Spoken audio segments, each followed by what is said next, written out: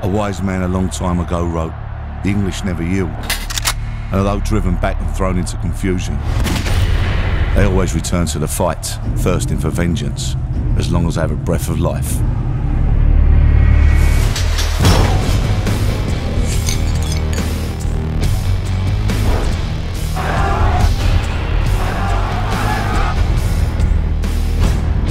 You two make Reggie and Ronnie look like the Everly brothers. We don't care. There's 50 million pounds worth of Colombia's finest sitting on that boat. So let me. We're in business. What's happened?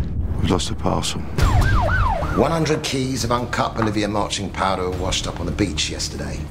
How many times have I told you? Don't deal with the Russians. Comrade Vladimir is not a happy Russian. He wants his readies by the end of the week. Where we're going to get 21 million quid.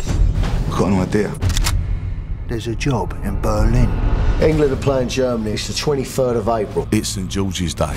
We've been playing this for months. We've put together a super firm. Wrecking Crew, Naughty 40, Zulus, Headhunters, Burnley Suicide Squad.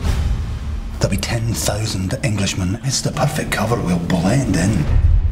Do you want your money or do you want a war?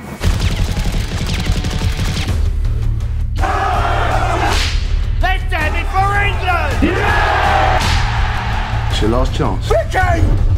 Put the dogs down.